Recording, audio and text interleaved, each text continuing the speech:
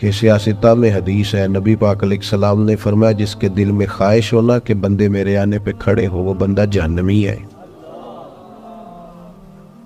ये नफ्स की ये ख्वाहिश फान ले कि मैं आऊँ तो जनाब दुनिया खड़ी हो जाए। इनसे अब संजीदगी अच्छा तरीका, खूबसूरत, बहुत सारी महफिलों में लोग मेरे पीछे दौड़ते हैं मिलने के लिए। और मैं चाहता भी हूँ कि सबसे मिल। लूँ लेकिन दो तीन चीज़ें होती हैं। एक तो बाज़ात इंतज़ामी मामला होते हैं, दोस्तों का ख्याल होता है, इंतज़ामी लोगों का ख्याल होता है कि जलसा मुंतशिर होना चाहिए। लोग ज़्यादा हैं तो ये मुंतशिर हो जाए। दूसरा ये होता है कि एक जगह जाना नहीं होता, कई जगहों पे जाना होता है एक दिन। तो जिस दूसरी जगह जाना होता है, वो ये तो पूछते ही नहीं कि आप निकले कि नहीं निकले। ये नहीं पूछते। वो तो पूछते ना कितने पहुँचे हो? ये पहला सवाल वो करते ही नहीं कि आप वहाँ से निकले कि नहीं निकले। वो तो पूछते हैं कि तुम पहुँचे कितने हो? तो अब चूँकि आगे जाना होता है तो इसलिए रुकना और सबसे मिलना बाज़ात ये नहायत मुश्किल होता है। बाकी ये कि मैं फिर एक दफ़ा अर्ज़ करूँगा और मैं कोई किसी किस्म की मेरी तबीयत ही नहीं है इस तरह का कोई माहौल बनाने की। मैं सचमुच समझता हूँ कि आप, देखें ना बेलोस लोग आए हैं और बहुत सारे लोग दूर बैठे हैं, जगह भी ठीक नहीं मिली, खड़े होकर सुन रहे हैं। तो मुझे तो पता है ना, जो रब रसूल की रज़ा के लिए तकलीफ़ कहता है, उसे अल्लाह अजर कितना आता हो। आप बड़े कीमती लोग हैं, कोई बंदा भी ऐसा नहीं जो ऐसा हो कि मैं समझूं कि मैं उस बंदे से अफजल हूँ। अल्लाह ताला आप सबको बरकत अता करे, आपको अल्लाह अपनी रहमत अता फरमाए। दो चार बातें मुख्तसर से वक्त में आपकी खिदमत में अर्ज़ करनी है। अल्लाह तबारक व ताली ने इंसान को पैदा किया है। इंसान का जब शूर बेदार हो जाता है ना तो फिर वो मारिफत चाहता है। जब तक चीज़ों की मारिफत उसे हासिल नहीं होती और सबसे बढ़कर अपनी मारिफत हासिल नहीं होती, वो बेचैन रहता है। आप कोई भी काम कर रहे हो, कहीं भी आप निकले हुए हो तो आप चाहते हैं मकसद ज़िंदगी का पता चले। हम क्यों करवाए? बहुत सारी दौलत कमाने वाले लोग प्यारे बेटे, आप बैठ जाओ। अल्लाह आपको सलामत रखे। अब आप आपसे मिलेंगे बाद, लेकिन अच्छा नहीं लगता ना एक आदमी से इस तरह खिदमत देना। अल्लाह आपको बरकत।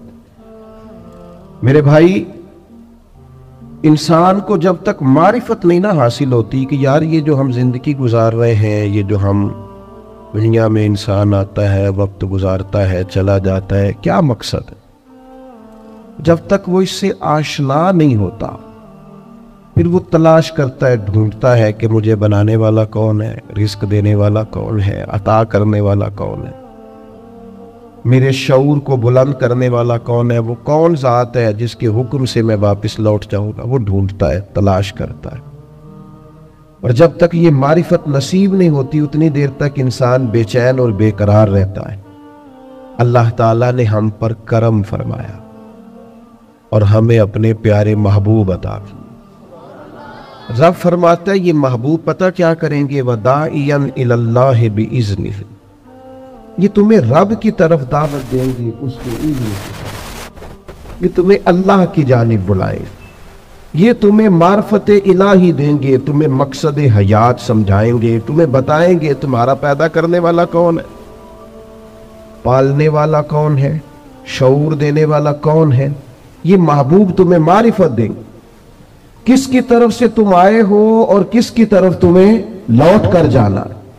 ये महबूब दाइये इल्लाह व सिराजम मुनीरा। और उनकी हिदायत इतनी बुलंद है कि हमने इन्हें चमकता हुआ आफ्ताब बना के भेजा हर चीज़ रोशन करके दिखाई रसूल पाक।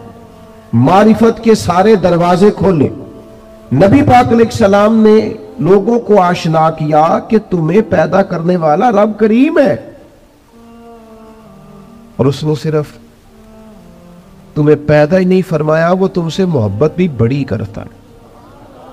हजूर सलात सलाम फरमाते, अल्लाह ने मखलूक को पैदा करने से पहले अपने पास, अपने अर्श पर यह तहरीर लिख दी थी कि, लोगों, याद रखना, मेरा गजब ज़्यादा नहीं है, मेरी रहमत ही ज़्यादा है। मेरे गजब पर मेरी रहमत का गलबा है। उसने तुम्हें पैदा किया है और वो करीम है, वो मेहरबान है, वो सत्तार है, वो मुआफ करने वाला उसकी मारिफत दी नबी पाक सलात सलाम ने लोगों को, और एक बार याद रखना, क्योंकि हमें मुफ़्त में मिला है अकीदा तोहद और रिसालत।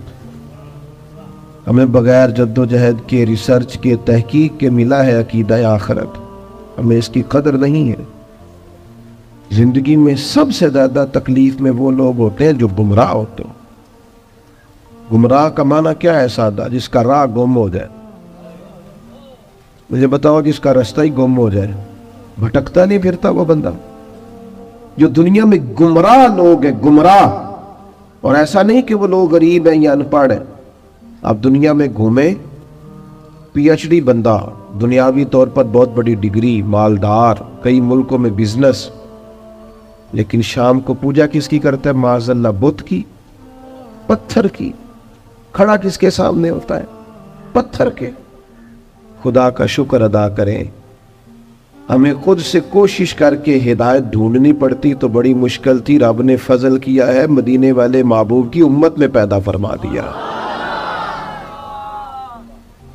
ये जो रास्ता वाजे नज़र आया है, खुला हुआ नज़र आया है, हिदायत के मीनारे नज़र आए हैं, ये बहुत बड़ा एहसान है अल्लाह ताला रसूल पाक सलाम ने जो हमें नमाज़ का, सजदे का, रोज़े का, सदकात का, अल्लाह की तरफ़ उसे राज़ी करने के लिए किसी भी अमल का जो हुजूर ने सबक पढ़ाया तो ये हमारे लिए रास्ता आसान हो गया, आसान।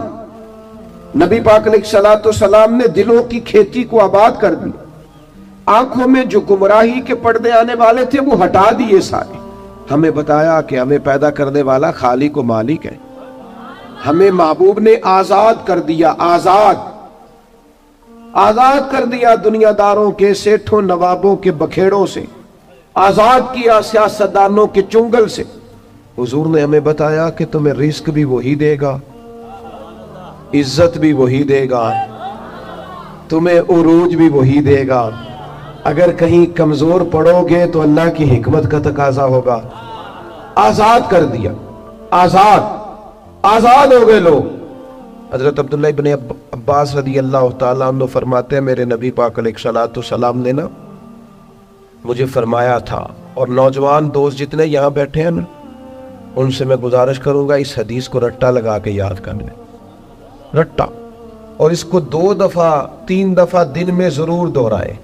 यह आपको ताकतवर करेगी। आपको आपको कभी अमीर रिश्तेदार देखकर परेशानी नहीं होगी। आप कभी जालिम को देख के परेशान नहीं होंगे। आपको कभी मालदारों को देख के डिप्रेशन और एंजाइटी नहीं होगा। आपको कभी किसी सियासतदान की पजारों के पीछे नहीं भागना पड़ेगा। आप कभी किसी मालदार आदमी की चापलूसी नहीं करेंगे। आप ये रट्टा लगा के याद कर लें। नबी पाक सलाम ने फरमाया, ए अब्दुल्ला इब्ने अब्बास, ए मेरे बेटे। हुजूर फरमाने लगे, सारे दुनियादार मिल के भी तेरा कुछ सवारना चाहे, सवार नहीं सकते जब तक रब ना चाहे। ये याद कर लें आप। और हुजूर फरमाने लगे, सारे दुनियादार मिल के तेरा कुछ बिगाड़ नहीं सकते जब तक अल्लाह की हिकमत तो क्यों डरे दुनियादारों से? क्यों परेशान हो सियासतदानों से? क्यों हम इधर उधर भागे? क्यों कमज़ोर पड़े? क्यों कच्ची बातें करें? जब रिस्क अल्लाह देगा, इज़्ज़त अल्लाह देगा, रसूल पाक ने उसकी मारफत भी खाई है। फिर कमज़ोर पड़ना, कच्चे पड़ना। ये जो अल्लाह के नेक बंदे होते थे ना, इसीलिए तो पक्के होते। कच्चे मकान में सुकून से सोते। एक रोटी खा के नींद मज़े की आती। ਅਸੀਂ ਕਿਸੇ ਦੇ ਕੁਝ ਨਹੀਂ ਜੇ ਲੱਗਦੇ ਨਾ ਕੋਈ ਸਾਡਾ ਦਰਬੀ कोई ज़रूरत ही नहीं इधर उधर नज़र झुकानी कोई नहीं परेशान होना ही नहीं तकलीफ में आना ही नहीं हारून रशीद हज करके आ रहा था बादशाह था ना तो ये बड़ा मज़ा आता है बाज़ लोगों को ना लोग नारे शारे लगाए गाड़ी के आगे पीछे भागे ये वजीरों को नहीं ये पीरों को भी बड़ा मज़ा आता है ओए वो वो